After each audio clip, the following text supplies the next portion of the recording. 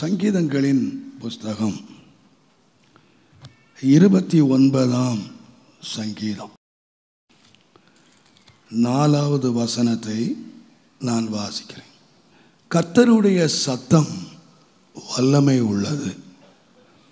கத்தருடைய சத்தம் மகத்துவம் உள்ளது. நான் வாசித்த இந்த இருபத்தி ஒன்பதாம் சங்கீதம் நீங்கள் ஆரம்பத்திலிருந்து வாசிப்பீர்களானால் இந்த சங்கீதம் முழுவதும் கர்த்தருடைய சத்தத்தினுடைய மேன்மையை சொல்லுகிறது. கர்த்தருடைய சத்தம் வல்லமை உள்ளது. கர்த்தருடைய சத்தம் மகத்துவம் உள்ளது என்று வாசிக்கிறோம்.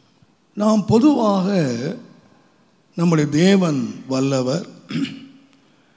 நம்முடைய தேவன் சர்வத்தையும் செல்ல வல்லவர். நம்முடைய தேவனுடைய வல்லமையான கிரியைகளை நாம் விசுவாசிக்கிறோம் நாம் அனுபவிக்கிறோம்.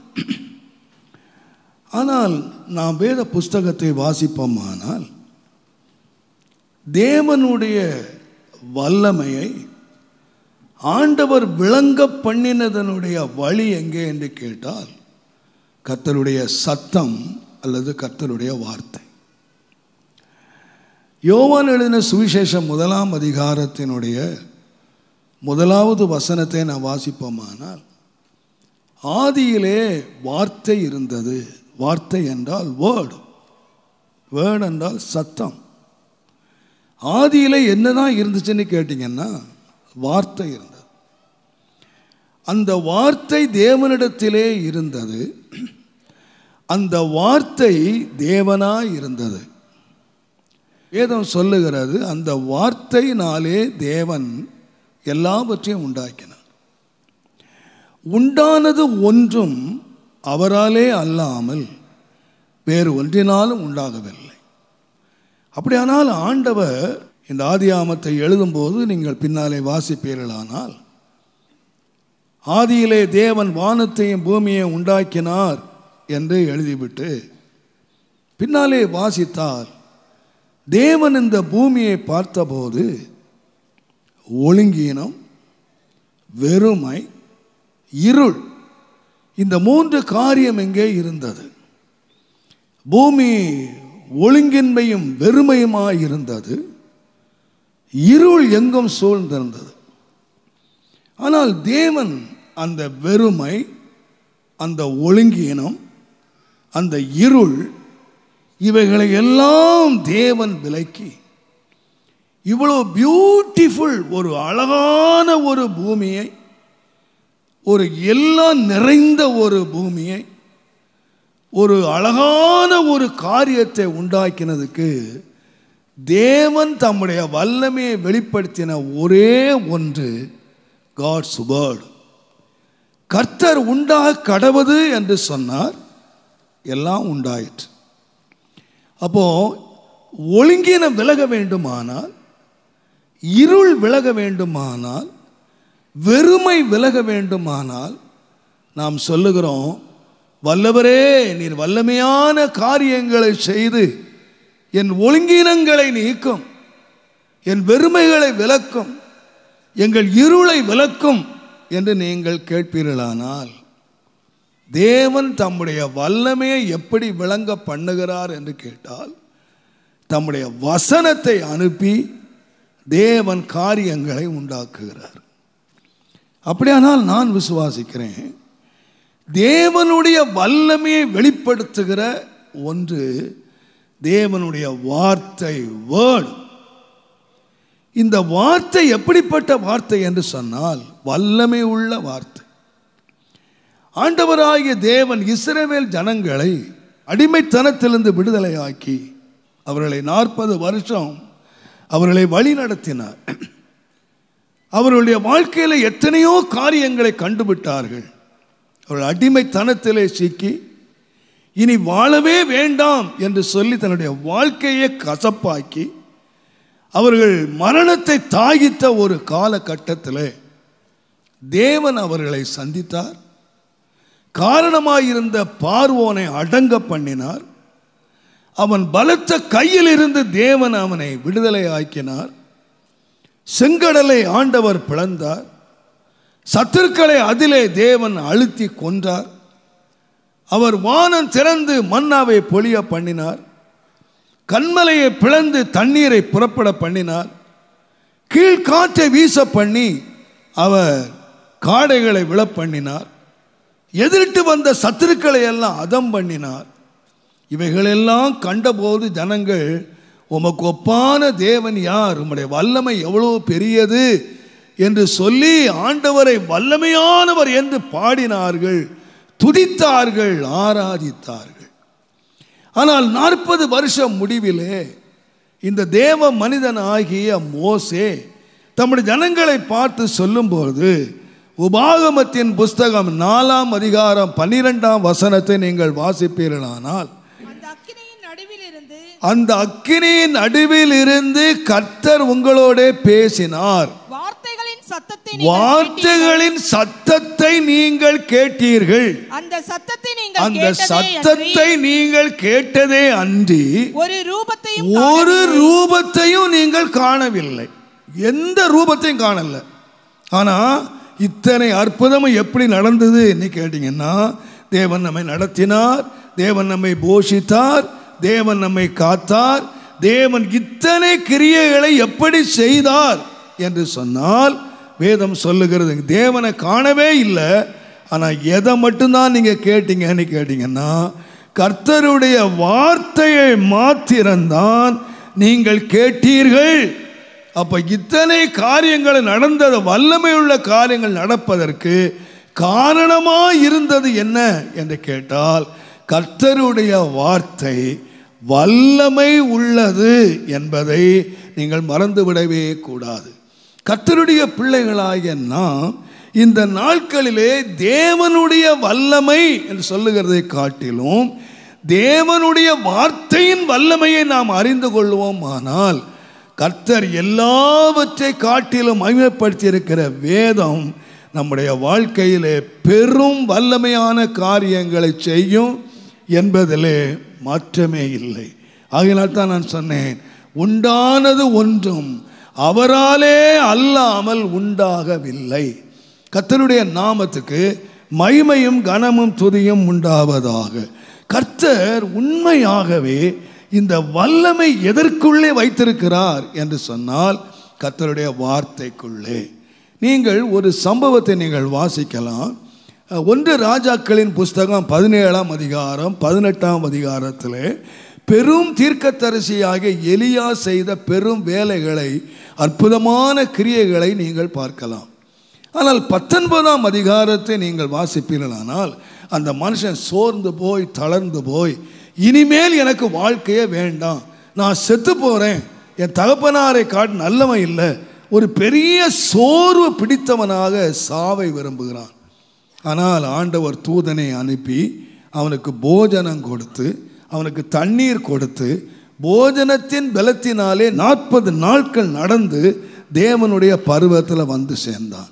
இப்போ தேவனுடைய பருவதத்தில் வந்த உடனே அங்கே சொல்லப்படுகிறது பத்தொன்பதாம் அதிகாரத்தில் பதினோராம் வசனத்தை நீங்கள் வாசித்தீங்கன்னா நீ வெளியே வந்து கர்த்தருக்கு முன்பாக பர்வதத்தில் நில் என்றார். அப்பொழுது இதோ கர்த்தர் கடந்து போனார். எலியாவை தேவன் கடந்து போகிறார். கர்த்தருக்கு முன்பாக கர்த்தருக்கு முன்பாக பர்வதங்களை பிளக்கிறது பர்வதங்களை பிளக்கிறதும் கண்மலைகளை உடை கண்மலைகளை உடைக்கிறதுமான பலத்த காற்று. கர்த்தர் கடந்து போகிறார் கர்த்தர் போய்கிட்டு இருக்கிறார். கர்த்தர் கடந்து போகும்போது ஒரு பெரிய கண்மலைகளை உடைக்கிற பெருங்காற்று உண்டாகுதான். ஆனால் அதுக்கு பின்னாலே எழுதியிருக்கு ஆனாலும் அந்த பெருங்காற்றிலே கர்த்தர் இருக்கவில்லை. தேவன் இருக்கல. பெருங்காற்றிலே தேவன் இருக்கவில்லை. ஆ அந்த பெருங்காற்றுக்கு பிறகு ஒரு பெரிய பூமி அதிர்ச்சி உண்டாயிற்று. அந்த அதிர்ச்சியிலேயும் யார் இல்லை? கர்த்தர் இருக்கல்ல. இந்த பூமி அதிர்ச்சிக்கு பிறகு ஒரு பெரிய அக்கினி இறங்கிச்சு. அந்த அக்கினியிலே கடந்து போகிறது. ஆனால் அதிலே யாரும் இல்லை? சொல்லுங்க. கர்த்தர் இல்லை. இது ஏன் பைபிள் எழுதியிருக்கு? ஆண்டவர் வந்து நான் கடந்து போகிறேன்னு சொல்கிறாரு முன்னால் போயிட்டு இருக்காரு பலத்த காற்று அடிக்குது. பூமி அதிருது. அக்கினி இறங்குது. என்றாலும் இதிலே கர்த்தர் இல்லை. கர்த்தர் எதிலே இருந்தார் என்று சொன்னால் இவை எல்லாவற்றுக்கும் பின்பு ஒரு மெல்லிய சத்தம் உண்டாகி உனக்கு இங்கே என்ன வேலை? உன் ஊழியத்தை நிறைவேற்று. என்று அவனுக்கு அவனை வழி நடத்தினது என்னவென்று கேட்டால் அவன் வருங்காலத்திலே செய்ய போகிற ஊழியம் அவன் நிறைவேற்ற வேண்டிய காரியங்கள் அவன் அபிஷேகிக்க வேண்டிய ராஜாக்கள் அவனுடைய திட்டங்கள் எல்லாவற்றையும் வெளிப்படுத்தினது அக்கினியும் அல்ல அதிர்ச்சியும் அல்ல காற்றும் அல்ல.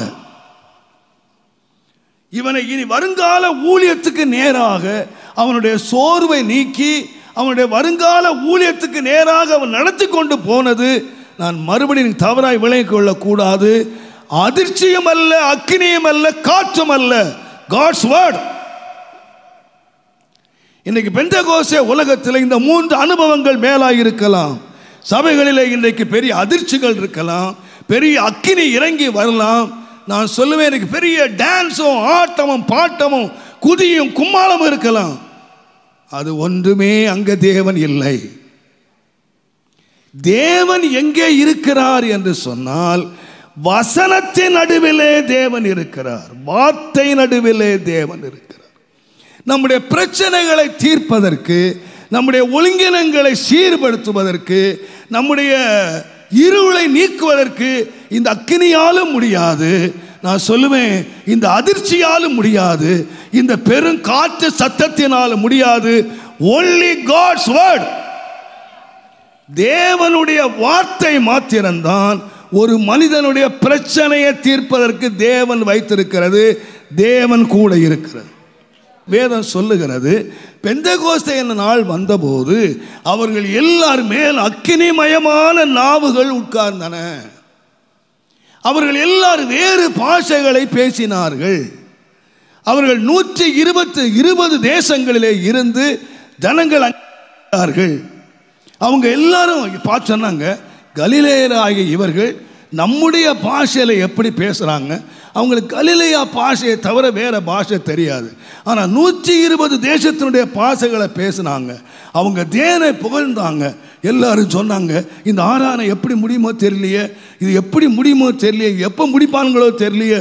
ஆராதனை இஸ் அ ஒண்டர் ஜனங்கள் எல்லாம் அந்நிய பாஷை பேசி ஆராதித்து மகிழ்ந்து கொண்டிருக்கிறார்கள். ஆனால் இந்த சத்தத்தை கேட்டு உள்ள வந்தானே அவனுடைய ஒருவனுடைய வாழ்க்கையிலே ஆயிலும் மாற்றம் உண்டாகவில்லை. அவ்வளோ பேர் என்ன சொல்லிக்கிட்டு இருந்தான்னா இவனுங்கெல்லாம் குடிகாரனுங்கடா. இவனுங்கெல்லாம் மதுபானம் பண்ணியிருக்கானுங்க. இவனுங்கெல்லாம் ஆட்டம் போடுறானுங்க. இவனுங்கெல்லாம் மதுபானம் பண்ணிட்டு ஆடுறானுங்க. என்று உள்ளே வந்து அத்தனை பேரும் பரிகாசம் பண்ணினார்கள்.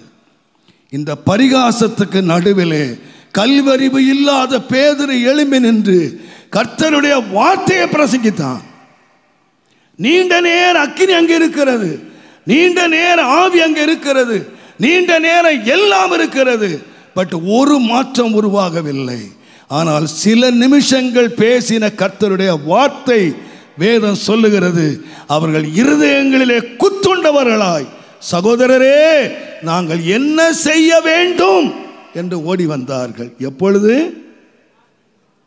இன்றைக்கு நான் சொல்லுவேன் கர்த்தர் ஒன்றை மகிமைப்படுத்தி இருக்கிறார் எதை என்றால் கர்த்தருடைய வேர்டு தேவனுடைய பிள்ளைகளுக்கு தேவன் வைத்திருக்கிற ஆசீர்வாதங்கள் அத்தனையும் எதன் மூலமா என்று கேட்டீங்கன்னா காட்ஸ் வேர்டு தேவனுடைய வார்த்தைகள். இன்றைக்கு நமக்கு எல்லாம் தேவை அக்னி தேவை பெருங்காற்று தேவை தரிசனம் தேவை எல்லாம் தேவை. ஆனால் வேத வசனம் இல்லாத தரிசனங்களும் வேத வசனம் இல்லாத ஆட்டங்களும் பாட்டங்களும் முடிவுக்கு வந்துவிடும். வசனம் ஒன்றே நிலைத்திருக்கும்.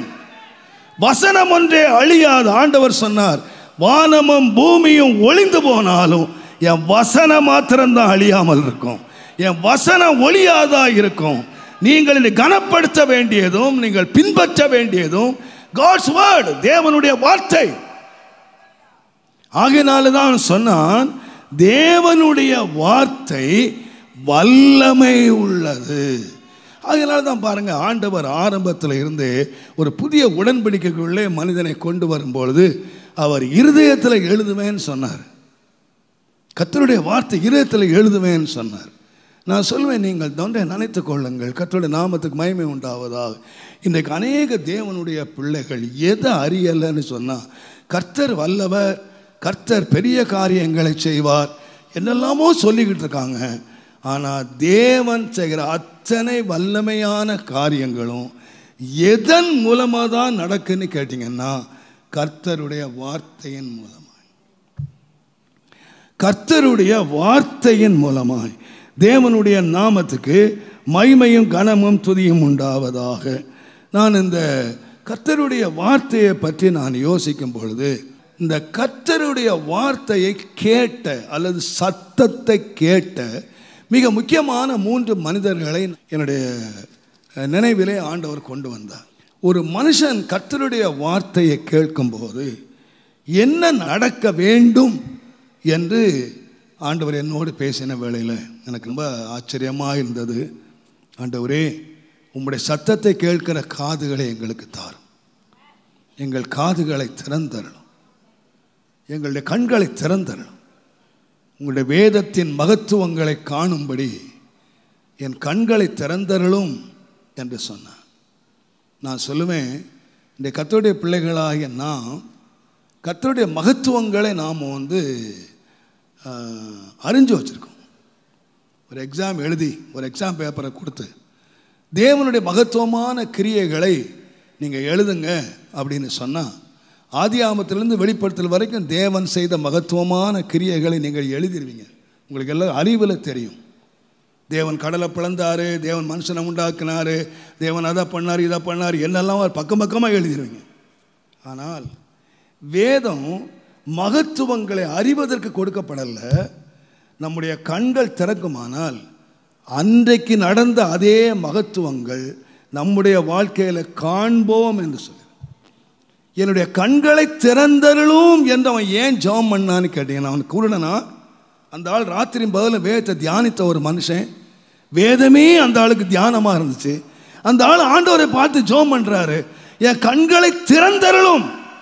வேதத்தின் மகத்துவங்களை காணும்படி அதிசயங்களை காண். நூற்றி பத்தொன்பதாம் சங்கீதம் பதினெட்டாம் வசனம் நினைக்கிறேன். உம்முடைய வேதத்தினுடைய அதிசயங்களை நான் பார்க்கும்படி என்னுடைய கண்களை அப்போ அந்த ஆள் குருடரா இல்லை கண்ணு திறந்திருக்கு.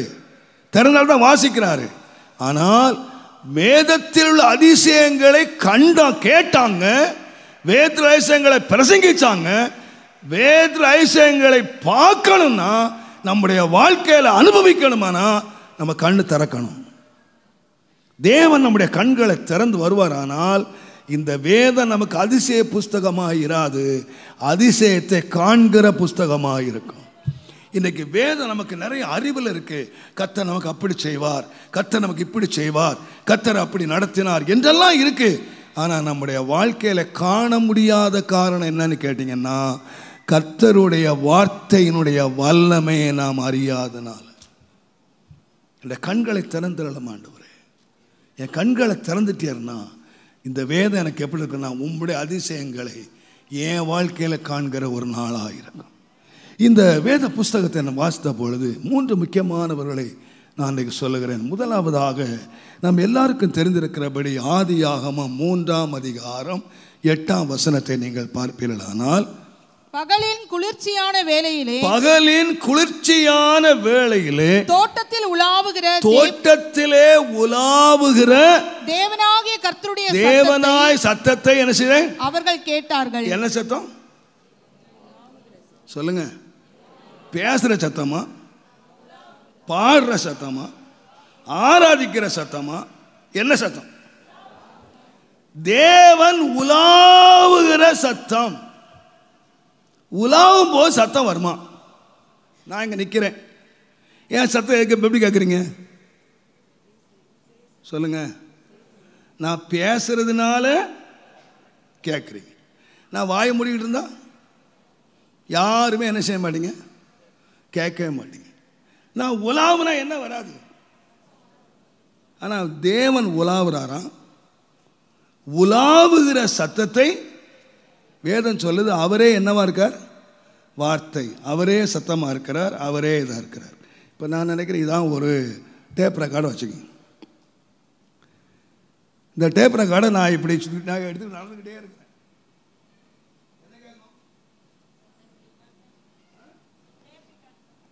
நீங்கள் டேப் ரெக்கார்டை பார்க்கட்டா கூட இது அங்கே போனால் அங்கே சத்தம் போட்டுக்கிட்டு இருக்கோம்.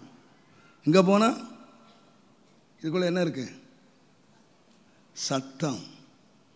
இப்போ தேவன் உலாவூர் சத்தம் கேட்டார்னா அவர் தான் சத்தம். அவர் எங்கே போனாலும் என்ன இருக்கும்? சத்தம் இருக்கும். இந்த சத்தத்தை அவங்க கேட்ட உடனே வேதம் சொல்லுது. அவங்க என்ன செய்ய முடியல? அவருக்கு முன்ன நிற்கவே முடியல. இதுவரைக்கும் நான் நினைக்கிறேன் ஆதாமை உருவாக்கி எத்தனை வருஷ காலத்துக்கு அப்புறம் அவன் பழம் தின்னான்னு தெரியாது. அவன் உருவாக்கப்பட்டதுக்கும் அவன் பழம் சாப்பிட்டதுக்கு ஏற்பட்ட காலம் எவ்வளோ நமக்கு தெரியாது. ஆனால் ஒன்று மட்டும் நமக்கு தெரியுது ஆண்டவர் ஒவ்வொரு நாளும் அவங்களோடு உலாவிக்கிட்டு இருந்தார்.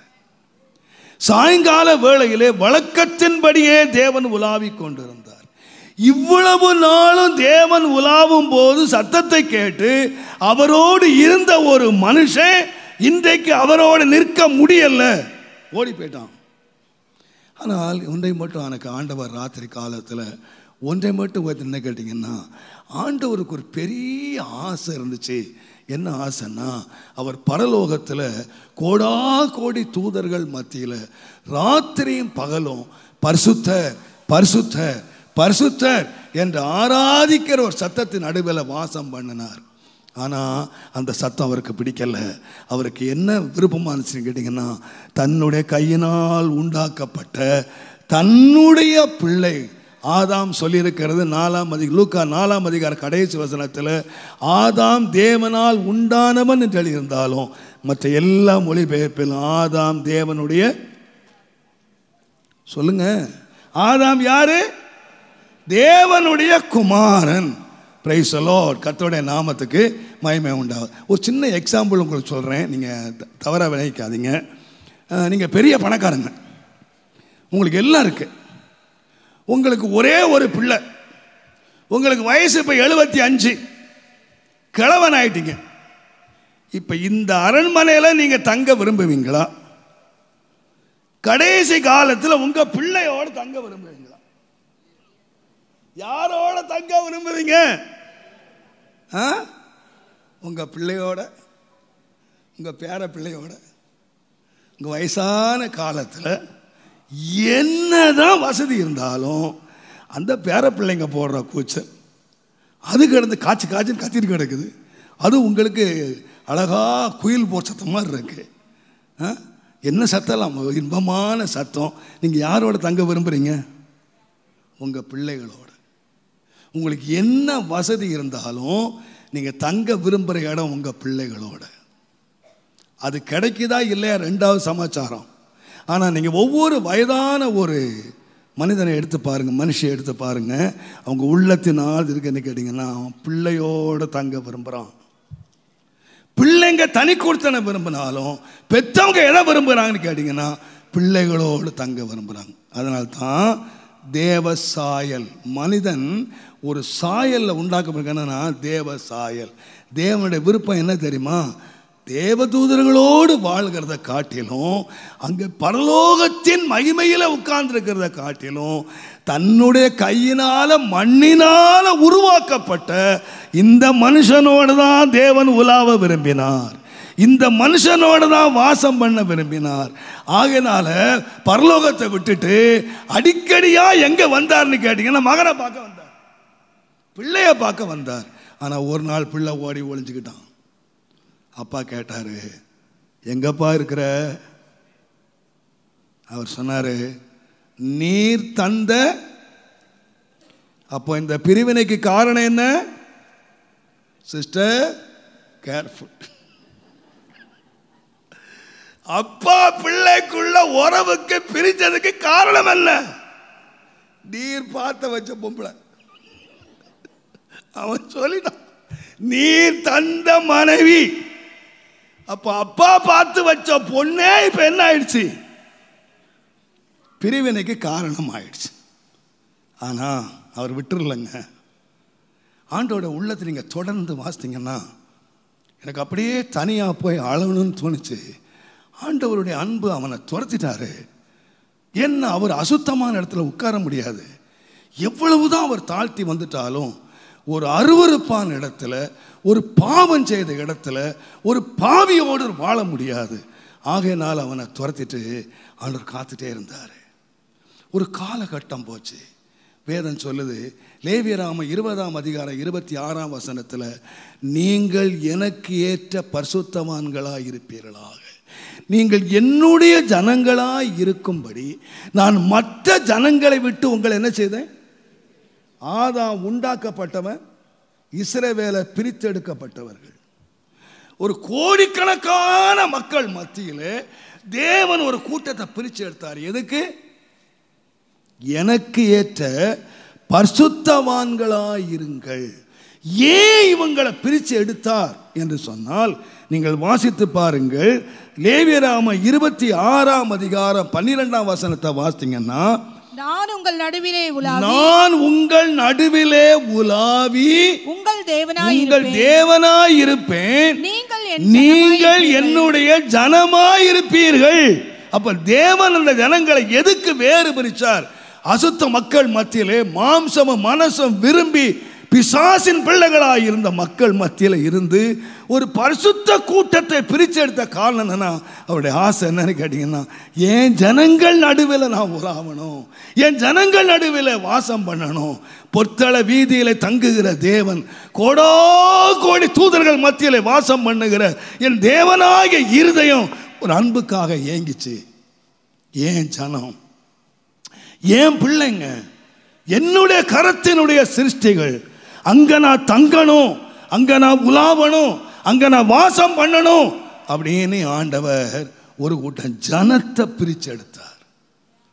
பட் அந்த ஜனமும் உலகத்தோடு கலந்து உலக வேஷங்களோடு போய் தேவனுடைய கற்பனைகளை மறந்து கடைசியாக தேவன் என்ன எடுத்தார்னா இந்த ஜனங்களும் உலாவர் இடமா இல்லை கடைசியாக கத்த சொன்னார் சாலமோன்கிட்ட இந்த இடத்தை நான் பரிசுத்தம் பண்ணினேன். என் கண்களும் என் செவிகளும் இங்கே திறந்திருக்கோப்பா. ஒரு இடத்தை ஆண்டவர் பரிசுத்தம் பண்ணி அதை பார்த்து கொண்டே இருக்க விரும்பினார். அங்கேயும் அநேக விக்கிரகங்களை கொண்டு வந்து அவருடைய கண்களை மூடி போட்டார்கள். காலா காலங்களாக மனிதனோடு ஆண்டவர் உலாவதற்கு ஒரு மனிதனை உண்டாக்கினார். அவனும் துரோகம் செய்தான். ஆண்டவர் பிரித்தெடுத்தார் அதுவும் துரோகம் நடந்து விட்டது. லாஸ்ட் ஃபைனல் கடைசியாக ஆண்டு என்ன செய்தார்னு கேட்டிங்கன்னா பாவத்திலும் அக்கிரமத்திலும் கிடந்த நம்மை தம்முடைய பரிசுத்த ரத்தத்தை சிந்தி நம் எல்லாரும் என்ன கொடுத்து வாங்கினார் என்றால் விலை கொடுத்து வாங்கினார் மீட்க ஆண்டவருடைய கிரியையிலே மூன்று கிரியைகளை நீங்கள் பார்க்கிறீர்கள். ஒன்று உண்டாக்கினார் ரெண்டாவது பிரித்தெடுத்தார் மூன்றாவதாக மீட்டெடுத்தார். விலைக்கிரயமாக நீங்கள் வாங்கப்பட்டவர்கள். நமக்கு ஒரு பெரிய சாக்கியம் இருக்கிறது. நாம் யாருன்னு கேட்டிங்கன்னா விலைக்கிரயமாய் வாங்கப்பட்டவர்கள். ஒரு முறை ஒரு சின்ன பையன் தன் தகப்பனை சொல்லி ஒரு அழகான ஒரு போட் ஒன்று செய்யும்படி சொன்னான். ஒரு அழகான படகு அந்த வீட்டுக்கு பின்னாலே ஒரு அழகான நீரோடை ஓடிக்கொண்டிருக்கிறது. ஒவ்வொரு நாள் அந்த நீரோடையிலே அந்த படகை விட்டு அவன் விளையாடி கொண்டிருந்தான். ரொம்ப சந்தோஷம் ரொம்ப மகிழ்ச்சி அவனுக்கு. ஆனால் ஒரு நாள் அவன் விளையாடி கொண்டிருக்கும் பொழுது திடீரென்று அந்த ஓடையிலே வந்த ஒரு காட்டு வெள்ளம் அந்த போட்டை அடிச்சிட்டு போயிடுச்சு. அவன் நின்று அழுதான். ஐயோ என் போட்டு போயிடுச்சே. நான் நேசித்த போட்டு போயிடுச்சேன்னு சொல்லி அழுது. அவன் தகப்புங்கிட்ட போனான் அப்பா என் போட்டு என்னை விட்டு போயிடுச்சு. அப்பா நான் போட்டு வேற செய்யலாப்பா என்று யோசித்து கொண்டிருக்கும் பொழுது ஒரு நாள் மார்க்கெட் பக்கம் போனாங்க. அந்த மார்க்கெட்டில் பழைய பொருட்களை விற்கிற ஒரு இடத்துல இந்த போட் அங்கே இருந்தது. எனக்கு ரொம்ப ஆச்சரியம். அப்பா ஏன் போட்டு இந்த கடையில் வச்சுருக்கான் பார்த்தீங்களா அப்படின்னு. அதில் எழுதிச்சு இது விற்பனைக்கு என்று எழுந்தது. உடனே தகப்பங்கிட்ட போய் அந்த போட்டுக்குரிய விலை கிரயத்தை கேட்டு வாங்கி அந்த கடைக்காரனிடத்திலே கொண்டு போய் அந்த போட்டினுடைய விலையை கொடுத்து அந்த போட்டை கொண்டு வந்து அந்த கண்ணாடி பேழைக்குள்ளே வைத்து கீழே எழுதினானாம் நான் உனக்கு ரெண்டு விதத்திலே உரிமைக்காரன். ஒன்று இந்த போட்டை நான் உண்டாக்கினதினால் நான் உனக்கு உரிமைக்காரன். ஒன்று இதுக்காக நான் செலுத்தப்பட்ட விலையை நான் கொடுத்ததினாலே நீ எனக்கு ரெண்டாவது இந்த போட்டுக்கு நான் உரிமைக்காரன் சொன்னானா? நான் சொல்லுவேன் தேவன் நம்மை உண்டாக்கினதாலே உரிமைக்காரர். தேவன் இழந்து போன நாம் தேவன் விலை மதிப்பில்லாத ரத்தத்தை சிந்தி நம்மை மீட்டெடுத்ததுனாலே தேவன் நம்ம ரெண்டு உரிமை. ஆகினால் ஆண்டோர் ஆண்டவர் சொன்னார் நீங்கள் கிரயத்து கொள்ளப்பட்டீர்கள். மனிதர்களுக்கு அடிமை ஆகாதிருங்கள் நீங்கள் எனக்கேற்றவர்களாக நான் உலாவும்படியாக நான் வந்தேன். உங்களை நான் மீட்டெடுத்தேன். ஆனால் நீங்கள் உலாவுறக்கு இடம் கொடுத்தீங்களா? கத்தரின் வாழ்க்கையில் உலாவுகிறாரா? கத்தரினுடைய வாழ்க்கையில் அவர் உலாவுகிற இடம் உண்டா? அவர் ஏன் உலாவுகிறார் தெரியுமா? இருபத்தி மூன்றாம் அதிகாரம் உபாகமத்தின் புஸ்தகம் இருபத்தி மூன்றாம் அதிகாரம் பதினாலாம் வசனத்தை வாசிங்கன்னா உன் தேவனாகிய கர்த்தர் உன்னை ரட்சிக்கவும் உன் சத்துருக்களை உனக்கு உன் தேவனாகிய கர்த்தர் உன்னை ரட்சிக்கவும் உன் சத்துருக்களை உன் சத்துருக்களை உன்னுடைய கையிலே ஒப்பு கொடுக்கவும் பாளையத்திற்குள்ளே உன் உலாவிக் கொண்டிருக்கிறார். பாளையத்துக்குள்ளே உலாவி கொண்டிருக்கிறார். ஆகையால். அவன் அசூசியான காரியங்களை கண்டு உன்னை விட்டு போகாதபடிக்கு அப்போ பாளையத்துக்குள் ஆண்டு உலாவுகிறார். உன் பாளையம்னு சொல்றது உன்னுடைய சரீரம் உன்னுடைய வீடு நம்முடைய ஊழியம். இதில் ஆண்டவர் என்ன செய்யணும்னா உலாவணும். இந்த ரெண்டும் அங்கே நிறைவேறலைங்க. கடைசி நீங்கள் வெளிப்படுத்தல முடியும் போது பார்த்தீங்கன்னா ஆதியாமம் ஆரம்பிக்கும் போது ஏதேன் தோட்டத்திலே ஆண்டோர் உலாவினார். இந்த வெளிப்படுத்தல் முடியும் போது உலாவுதலோடையே முடிகிறது. வெளிப்படுத்தல் ரெண்டாம் அதிகாரம் முதலாவது வசனத்தில் தேவன் ஏழு நட்சத்திரங்களை கைகளிலே ஏந்தி கொண்டு குத்து விளக்கள் மத்தியில் என்ன செய்கிறார்? உலாவுகிறார். எதுக்கு உலாவுகிறார்? எதுக்கு உலாவுகிறார்? உன்னை ரட்சிக்க உன் சத்துருக்களை உன்னுடைய கையிலே ஒப்பு கொடுக்க தேவன் நம்முடைய சபையிலே உலாவுகிறார் உங்கள் வீட்டிலே உலாவுகிறார் உங்கள் வாழ்க்கையிலே உலாவுகிறார். அவர் எங்க போயிடக்கூடாது அப்படின்னு சொன்னா அசூசியான காரியத்தை கண்டு உன்னை விட்டு என்ன செய்யக்கூடாது போயிடவே கூடாது. அதனால தான் நான் அடிக்கடி நான் சொல்லுவேன் கத்துடைய நாமத்துக்கு மயமே உண்டாவதாக. இஸ்ரேவேல் ஜனங்கள் தூரம் இருந்து வரும்பொழுது அவங்கள வந்து எல்லாரும் ஜெயிச்சுட்டு வந்தாங்க. அந்த பீலையாம்னு ஒருத்தருக்கான் அவனை பாலாக்கு ராஜா கூப்பிட்டான். அவன் சொன்னான் நீ ஆசீர்வதிக்கிற ஜனங்கள் ஆசீர்வதிக்கப்பட்டவர்கள். நீர் வந்து ஒரு வார்த்தை ஆசீர்வதியும். அவன் தூர தேசத்திலிருந்து ஒருவனை கூட்டம் வந்தான். குறி சொல்கிறவனை எதுக்குன்னா இந்த ஜனங்களை சபிக்கிறதுக்கு. இந்த ஜனங்கள் அவன் வந்திருக்கிறான். ஜனங்களை சபிக்கிறதுக்கு அவன் ஏழு பலிபீடங்களை கட்டி ஏழு காளைகளை செலுத்தி அவன் அந்த சபிக்கிற வார்த்தைகளை தேடுறான். வேதம் சொல்லுது கடைசியாக இந்த ஜனங்கள் யார்? ஆசிர்வதிக்கப்பட்டவர்கள். ஏனென்றால் ராஜாவினுடைய ஜெய கம்பீரம் அவர்களுக்குள்ளே எண்ணாமத்தின் புஸ்தகம். தயவு செய்து இருபத்தி மூன்றாம் அதிகாரம். இருபத்தி ஒன்று வாசிங்க. அவர் யாக்கோபிலே அக்கிரமத்தை காண்கிறதும் இல்லை ஆ. இஸ்ரவேலிலே குற்றம் பார்க்கிறதும் இல்லை. அவர்களுடைய தேவனாகிய கர்த்தர் அவர்களுடைய தேவனாகிய கர்த்தர் அவர்களோடே இருக்கிறார். ராஜாவின் ஜெய கம்பீரம். ராஜாவின் ஜெய கம்பீரம் அவர்களுக்குள்ளே இருக்கிறது. ஏன் அவங்கள ஜெயிக்க முடியாது? அவங்க சின்ன கூட்டம். அவங்க பிரபலமான ராஜாக்களை சங்கரிக்கிறாங்க. ஜெயத்துக்கு மேல ஜெயம் வெற்றிக்கு மேல வெற்றி. அவங்க வாழ்க்கையில தோல்வியே இல்லை. எல்லா வெற்றியும் எடுத்துட்டு வர்றான். நீங்க யோசித்து பாருங்க இவங்க யார் தெரியுமா? யுத்த பழக்கம் இல்லாதவங்க. கல்வி அறிவு இல்லாதவங்க. பல வருஷங்கள் அடிமைகளாக இருந்தவங்க. பல வருஷங்கள் செங்கச்சூளையிலேயே வேலை செய்தவங்க. ஜீவனை கூட கசப்பாய் எண்ணினவங்க. கல்வி அறிவில்லாத மனிதர்கள் யாரை ஜெயிச்சுட்டு வந்தாங்கன்னா இவங்களுக்கு முன்னால் ஒருத்தன் நிற்க முடியல. எத்தனை சேனைகள் குதிரைகள் ரதங்கள் எதெல்லாம் வந்தாலும் ஜெயிக்க முடியல. காரணம் என்ன தெரியுமா? அவன் சொல்கிறான் நீ அவங்கள ஜெயிக்க முடியாதுப்பா. அங்கே யார் இருக்கா உள்ள? ஆ? கர்த்தர் இருக்கிறார். அவருடைய ஜெய கம்பீர் அங்க இருக்கு. ஆகையினால நீ அவங்கள தொடவே முடியாது.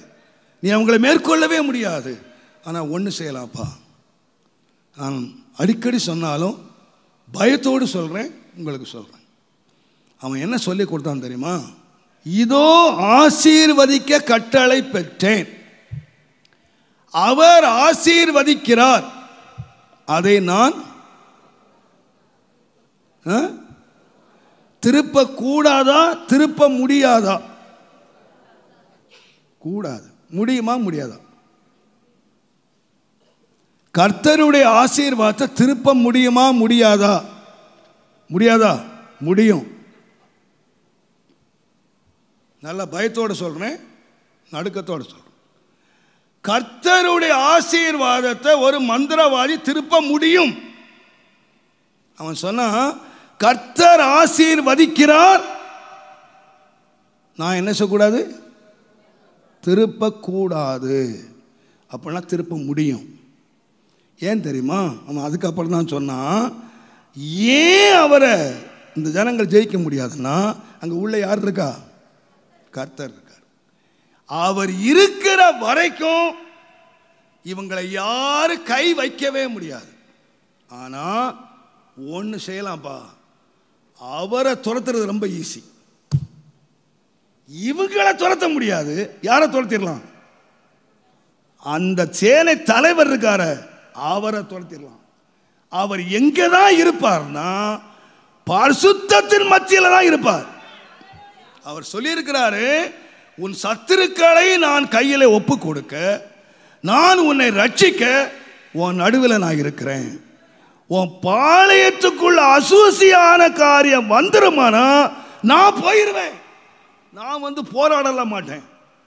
உன் வீட்டை விட்டு நான் போயிடுவேன் நான் சொல்லாமலே போயிடுவேன் போஸ்ட் கார்டு போடாமலே போயிடுவேன் சொல்லாமலே போயிடுவேன் நீ என் பாளையத்தை மட்டும் அசுத்தம் ஆக்கிட்டேன்னு சொன்னால் நான் போயிடுவேன் அப்போ அவன் சொல்லி கொடுத்தான் இந்த பாரு அந்த ஆண்டவர் போராட மாட்டார்.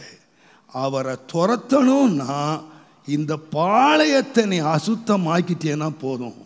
அவர் சொல்லாமலே ஓடிடுவார். நல்ல ஐடியா கொடுத்தான். என்ன பண்ணான்னு தெரியுமா அவன்? யுத்தத்தினால் செய்ய முடியாததை. வேறு வல்லமையான காரியங்களை செய்ய முடியாத அவன் இந்த மோவாபிய அழகுள்ள பெண்களை கண்டுபிடித்து இஸ்ரவேலின் பாளையத்திலே வாலிபர்களை விபச்சாரர்களாக மாற்றினான். வேசித்தனம் செய்வதற்கு அனுப்பினான். விக்கிரக ஆராதனைக்கு படைக்கப்பட்ட விருந்துகளை அவன் கையில் கொண்டு வந்தான். நீங்கள் என்ன கேட்டு வராங்க? நாங்கள் டெய்லி பாட்டு என்ன தெரியுமா? ஆராதனை என்ன? இறைச்சியில். மண்ணாதானா இருக்கு? இறைச்சி இல்லை மேகம் போகுது முன்னால. அக்னி போகுது முன்னால. இறைச்சி இல்லை கத்தர் எங்களோட இருக்கிறாரு. இறைச்சி இல்லை இதே தானா இறைச்சி இல்லை பார்த்தான். உங்கள் ஆண்டவரை கும்பிட்டா உனக்கு இறைச்சி கிடைக்க கிடைக்காதப்பா. உனக்கு தரேன் பாரு இறைச்சி. அழகாக வறுத்து நல்ல சிக்கன் ஃப்ரை மட்டன் ஃப்ரை பன்னி ஃப்ரை என்னெல்லாம் தின்னக்கூட அத்தனை ஃப்ரையும் பொறிச்சு அழகான பெண்கள் கையில் கொடுத்து பிரதர் நீங்கள் ரொம்ப கஷ்டப்பட்டு வந்திருக்கிறீங்க. நீங்கள் இறைச்சி தின்னு ரொம்ப நாளாச்சு. இந்தாங்க இறைச்சியை பிடிங்க அவன் இறைச்சியும் பிடிச்சான். இறைச்சி குழந்தவளையும் பிடிச்சான். முடிவு என்ன தெரியுமா? இருபத்தி ஐயாயிரம் பேர் ஒரே நாளில் பட்டயம் இல்லாமல் கொல்லப்பட்டார்கள். இன்றைய கிறிஸ்தவ வீடுகளிலே கிறிஸ்தவ சபைகளிலே கிறிஸ்தவ வாழ்க்கையிலே சத்துரு செய்கிற மிக தந்திரமான வேலைதான் கத்தருக்காய் பிரகாசித்த தேவனுடைய பிள்ளைகளை அவன் விழ தள்ளவே முடியாது. அவங்க ஆசீர்வாதத்தை மாற்றவே முடியாது. குடும்ப ஆசீர்வாதத்தை மாற்றவே முடியாது. ஊழி ஆசீர்வாதத்தை மாற்றவே முடியாது. ரொம்ப ரகசியமாக செய்கிறான் ஒரு வேலை நான் சண்டைக்கே வரமாட்டேன் பிரதர் நான் வம்புக்கே வரமாட்டேன். உன் வீட்டுக்குள்ள இச்சைகளை கொண்டு உள்ள வச்சிட்டேன்னு சொன்னா நீ தொலைஞ்ச. ஆண்டவர் போயிட்டாரு. தேவனுக்கு விரும்பாத காரியங்கள். அரு அதனால தான் ஆண்டு சொன்னார். அருவருப்புகளை உள்ளே கொண்டு வராதே. சாபத்தீடானதை கொண்டு வராதே. உனக்கு ஆண்டவர் வீடு கொடுத்துருக்காரு. உன் வீட்டுக்குள்ள என்ன கொண்டு வரணும்னு உனக்கு தெரியும். இதை கொண்டு வந்த ஆண்டவர் உள்ள இருப்பாரா? இந்த பொருளை உள்ள வச்ச ஆண்டவர் உள்ள இருப்பாரா?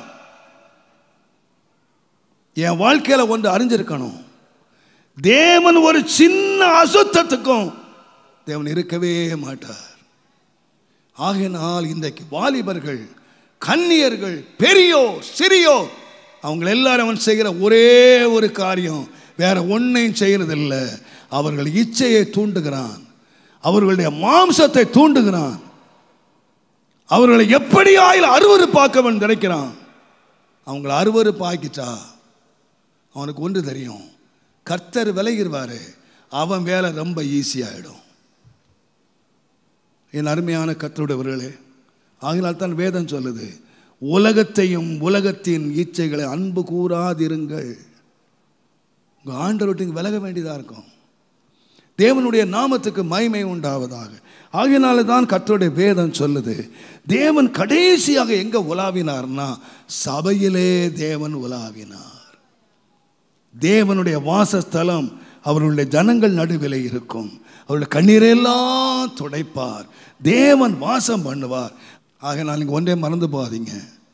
இன்றைக்கு நீங்களும் நானும் தேவ சத்தத்தை கேட்டு தேவனிடத்திலே வரும்படி தேவன் நம்மை அழைப்பாராக. ஏனென்றால் நான் சொல்லுவேன் நூற்றி நாற்பத்தி எட்டாம் சங்கீதம் ரெண்டாம் வசனத்தை வாசித்தீங்கன்னா சகல பிரஸ்தாபத்தை பார்க்கலும் தேவன் எதை மைமைப்படுத்தி இருக்கிறார் நீங்கள் இன்னொரு இங்கிலீஷில் பார்த்தீங்கன்னா எல்லா நாமத்தை காட்டிலும் எந்த நாமத்தை மேன்மைப்படுத்தி இருக்கிறார் காட்ஸ் வேர்டு ஆண்டவருக்கு பல ஆயிரம் நாமங்கள் இருக்கின்றன. அவர் அதிசயமானவர் வல்லமை உள்ளவர் அவர் சேனை தலைவர் என்னெல்லாமோ இருக்கு. அவர் யகோவா அவர் ராஜா கர்த்தாதி கர்த்தா எல்லா நாமத்துக்கும் மேலாக தேவன் எந்த நாமத்தை ஓய்த்திருக்கிறார்னு கேட்டீங்கன்னா அவர் ஜீவன் உள்ள தேவனுடைய வார்த்தை.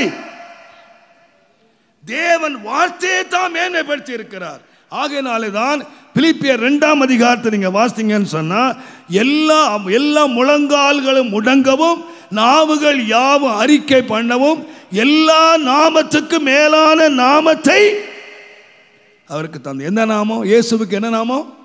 அவர் தேவனுடைய வார்த்தை. வார்த்தை. கர்த்தருடைய நாமத்துக்கு மகிமை உண்டாவதா? இந்த வார்த்தையை தேவன் மகிமைப்படுத்தி இருக்கிறார் இந்த வார்த்தைக்கு முன்பதான் எல்லா முழங்கால்கள் முடங்குகிறது.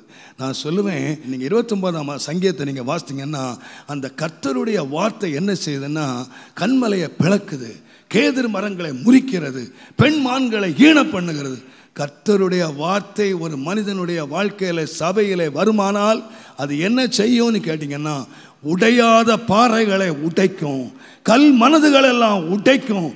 முறிக்காத மரங்களை எல்லாம் நிமிர்ந்து நிற்கிற மரங்களை எல்லாம் முறிக்கும். என்னென்ன செய்யணுமோ அத்தனையும் செய்யும். ஆகினால தான் இன்றைக்கி என்ன சொல்கிறான்னு கேட்டிங்கன்னா வசனம் வேண்டாம். வசனம் வேண்டாம். வசனம் வந்தால் உடைக்கும். இன்றைக்கி பாட்டு போதும் ஆட்டம் போதும் குதி ஆட்டம் போதும். நான் சொல்ல வேண்டாம் நான் சொல்லலை. இதெல்லாம் தேவன் கடந்து போகிறக்கு அடையாளம்.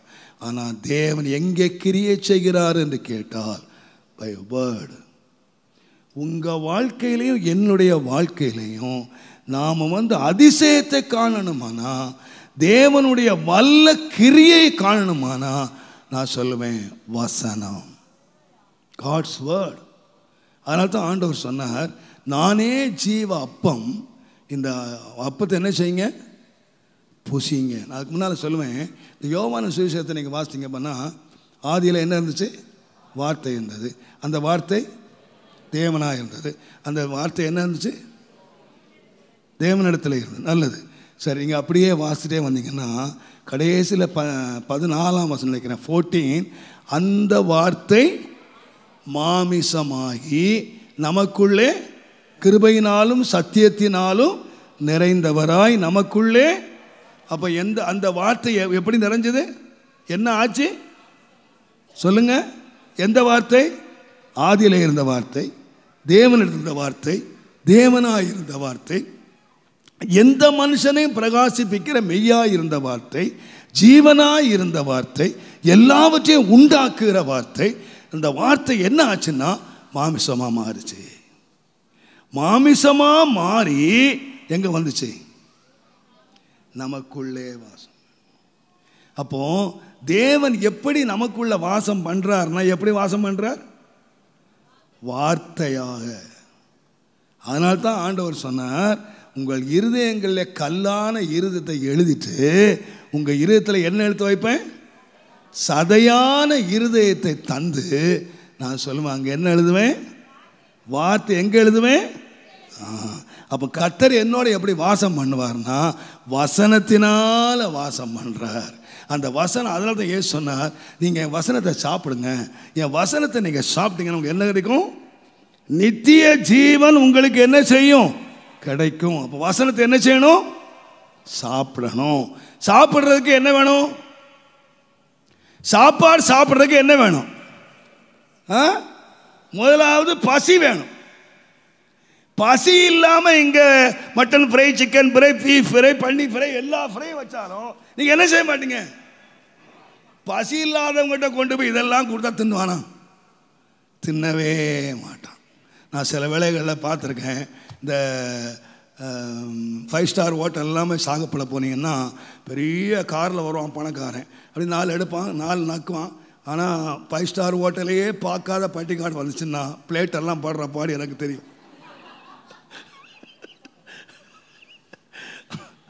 அவங்களுக்கு வயிற்றில் பசி இவனுக்கு முட்டியில் பசி. அப்போ சொல்கிறேன் எத்தனை வெரைட்டி வச்சு சாப்பிட்றதுக்கு என்ன வேணும்? பசி வேணும். ரெண்டாவது தெரியலையோ? ஆ? சாப்பிட்றதுக்கு விருப்பம் வேணுமா? ஆ. சாம்பார் வச்சா ஒரு பிடி திங்கிறாலும் பிரியாணி தின்னா நாலு பிளேட் தின்றாங்கல்ல. அப்போ சாம்பாரில் என்ன இல்லை? விருப்பம் இல்லை. பசி இருந்தாலும் சாப்பிட்றதுக்கு என்ன வேணும்?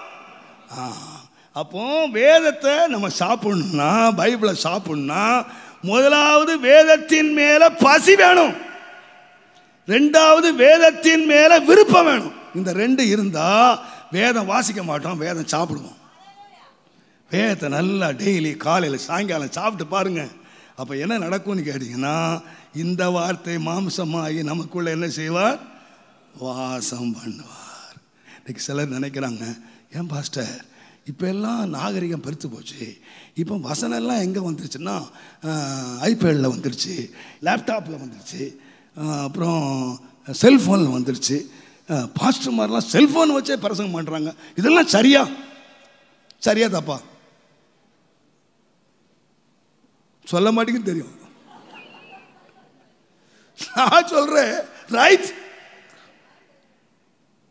தப்புன்னு சொல்கிறீங்களா நான் விளக்கம் சொல்கிறேன் முதலாவது பைபிள் எழுதின மெட்டீரியல் என்ன?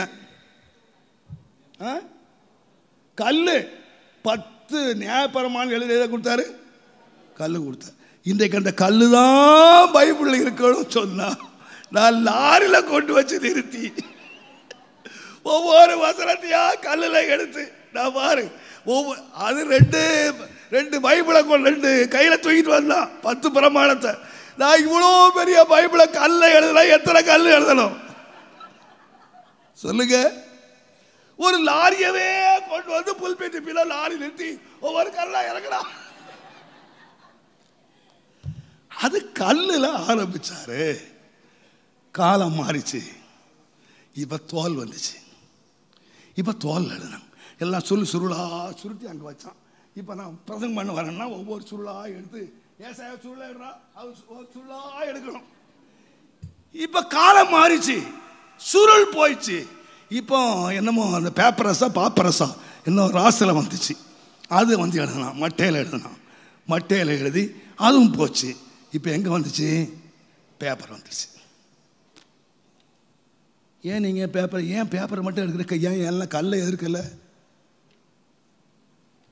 ஆண்டவர் எழுதின பைபிள் கல்லில் தான் இருந்துச்சு.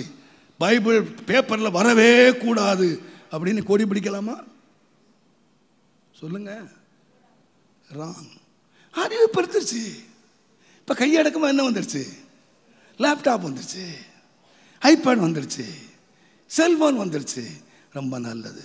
ஆனால் நான் ஒன்றை மட்டும் சொல்கிறேன் நீ லேப்டாப்பில் வச்சிருக்கியோ நீ செல்ஃபோனில் வச்சிருக்கியோ நீ ஐபேடில் வச்சிருக்கியோ எதில் வச்சாலும் நீ முன்னுக்கு வர முடியாது. ஆனால் எதில் இருக்கணும்னு கேட்டிங்கன்னா மாறாத இருதயத்தில் இருக்கணும்.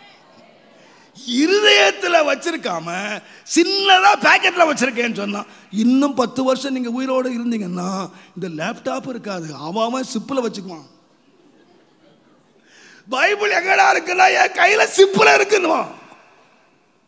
இன்னும் காலம் மாறி போகும்போது என்ன அறிவு பெருக்கும்னு தெரியாது. அதனால தான் ஆண்டவர் முதல்ல சொல்லி வச்சுட்டாரு. இந்த லேப்டாப் காலம் வரும்னு ஆண்டவருக்கு தெரியாதா? செல்ஃபோன் காலம் வரும்னு ஆண்டவருக்கு தெரியாதா? ஆண்டவருக்கு நிச்சயமாக தெரியுங்க. ஆண்டவர் அதனால தான் அன்றைக்கே எழுதி வச்சுட்டாரு. அப்பா வசனம் எழுதப்பட வேண்டிய இடம் ஓ இருதயம். ஓ இருதயம். இருதயத்தின் நிறைவினால் வசனத்தை நினைப்பையானா உன் இருதயம் எப்படி இருக்கும்னா வசனம் வல்லமை உள்ளது. வசனம் மகத்துவம் உள்ளது. உன் இருதயத்தை நீ வசனத்தால் நிறைப்பாயானா நீ யாராக இருப்பேன்னு கேட்டீங்கன்னா வல்லமை உள்ளவங்களா இன்னைக்கு பிசாசு அதை அறிஞ்சுதான் அநேகரை வசனம் வாசிக்க விடுறதில்ல. வசன பக்கம் போறதில்ல. இன்றைக்கி நான் கொஞ்சம் கா- பார்த்து கேட்குறேன். எத்தனை கிறிஸ்தவங்க பைபிள் வாசிக்கிறீங்க? எத்தனை கிறிஸ்தவ பைபிள் வாசிக்கிறீங்க? எவ்வளவு நேரம் உங்கள் பைபிளோடு செலவு பண்ணுறீங்க இன்னைக்கு சிலருக்கு தூக்கம் வரட்டா பைபிளை கொடுத்தா போதும். தூங்கிடும் இது நல்ல ஸ்லீப்பிங் டேப்லெட் கையில் எடுத்தா வராத தூக்கமெல்லாம் வந்துடும் நான் சொல்கிறேன் உங்களுக்கு அன்பாக சொல்கிறேன் அருமையானவர்களை தாழ்மையாக சொல்கிறேன் இது தேவனுடைய வல்லமை நிறைந்தது. தேவனுடைய மகத்துவம் நிறைந்தது. நான் ஒன்று சொல்லுவேன் இந்த வேதம் பாவத்தை விளக்கும் இந்த பாவம் இந்த வேதத்தை விளக்கும். நீ ஆண்டவரோடு நீ இருக்கிறாய் என்பதற்கு ஒரு செக்கப் இந்த பைபிளை எவ்வளோ நேசிக்கிறாங்கிறக்கு அடையாளம். இந்த பைபிளோடு நேரத்தை செலவு பண்ணாத ஒரு பெந்தகோசக்காரன் தேவனோட இருக்கிறான் என்பது அபத்தம். பொய். இந்த வேதத்தை நீங்கள் வாசித்து பாரு. இதை நேசித்து பாரு. நான் கத்தர் சொன்ன வார்த்தைகளை நான் தைரியமாய் சொல்கிறேன் இந்த வேதம் எதுக்குன்னு தெரியுமா? இதை நீ நேசிப்பாயான அதான் சொல்லப்பட்டிருக்கு தேவனுடைய நாமத்துக்கு மைமை உண்டாவதாக. இந்த வேதத்தை இருதயத்திலே நான் எழுதுவேன். இருதயத்தில். கர்த்தருடைய வேதத்தை இருதயத்தில் வச்சு பாருங்கள் அவர் அந்த வசனத்தின் மூலமாக உங்களை உனக்குள்ளே வாசம் பண்ணுகிறார். அப்போ என்ன செய்வார்னா? உன்னை ரட்சிப்பார். இந்த உலகத்தில் நம்மை பாவத்துக்குள்ளாக்க இந்த உலகம் நம்மை அக்கிரமத்துக்குள்ளாக்க நம்மை தீமைக்குள்ளாக்கி நம்மை அழிப்பதற்கு நம்ம எடுக்கிற ஒரு பெரிய ஆயுதங்களை அதனால தான் சொன்னாங்க சங்கீதக்காரன். உமக்கு விரோதமாய் பாவம் செய்யாதபடிக்கு உம்முடைய வாக்கை என் இருதயத்திலே வைத்து வைத்தேன். வேத வசன மாத்திர ஒருத்தன் இருதயத்தில் இருக்குமானால் நான் நினைக்கிறேன் இன்றைக்கி நிறைய பிரசங்கிகள் மணிக்கணக்காக பிரசங்கம் பண்ணுறவங்க நீ கத்திர விட்டு போயிடுறான். பயத்தோடு சொல்கிறேன் நடுக்கத்தோடு சொல்கிறேன் இன்றைக்கி நிறைய பேருக்கு பெர- இந்த புஸ்தகம் பிரசங்க புஸ்தகம். நிறைய பேருக்கு இது கிறிஸ்தவங்க புஸ்தகம். ஆனால் நான் சொல்லுவேன் இந்த வயத வசனம் நம்மை தேவன் நமக்குள்ளே வாசம் பண்ணுகிற புஸ்தகம். இது மாம் இது நான் சொல்லுவேன் இது மனப்பாடம் பண்ணுறதுக்கு இல்லைங்க. இது மனப்பாடம் பண்ணுறதுக்கு இல்லை. நான் சொல்லுவேன் இது வாழ்வதற்கு. இதை நீங்கள் உள்ளத்திலே பதித்து வைப்பீர்களானால் இது உங்களை என்ன செய்யும்னு கேட்டிங்கன்னா உங்களுடைய வசனம் என் கால்களுக்கு தீபம் என் பாதைக்கு வெளிச்சம். வாலிபர்களே கன்னியர்களே என் அன்பு பிள்ளைகளே நான் உங்களுக்கு அன்பாக சொல்லுகிறேன். இந்த உலகத்தின் தீமைகளுக்கு நீங்கள் விலக வேண்டுமானால் தேவன் உங்களை ரட்சிக்க வேண்டுமானால் உங்களை நீங்களே ரட்சித்துக் கொள்ள முடியாது உங்களை நீங்களை காத்துக்கொள்ள முடியாது. உங்களை காத்துக்கொள்ளுகிறதற்கு உன்னை ரட்சிக்கவும் உன் சத்துருக்களை உன் கையிலே ஒப்பு கொடுக்கவும் உன் பாளையமாகிய சரீரம் உன் பாளையமாகிய வீட்டுக்குள்ளே உன் வசனமாகிய தேவனுடைய வார்த்தை உலாவி வருவாரான் அதனால் தான் அன்றைக்கு பழைய ஏற்பாட்டில் சொன்னார் நீ உன் வாசல் நிலைகளிலே எழுதி வை. உன் சுவற்றிலே எழுதி வை. உன்னுடைய வஸ்திரத்திலே எழுதி வை. உன் கையிலே எழுதி வை. படுக்கும்போது பேசு. உட்காரும் போது பேசு. நடக்கும்போது பேசு. வார்த்தையே நீ பேசு. நீ அப்படி பேசினாயானால் நீ நன்றாயிருப்பாய். நீ விருத்தி அடைவாய். உன் வாழ்நாள் நீடித்திருக்க பண்ணுவார் வாழ்நாள் நீடித்திருக்க பண்ணுவார் தேவனுடைய நாமத்துக்கு மகிமை உண்டாவதாக. இந்த தேவ சத்தம் அவன் கேட்ட பொழுது உறவு விட்டு போயிட்டான்.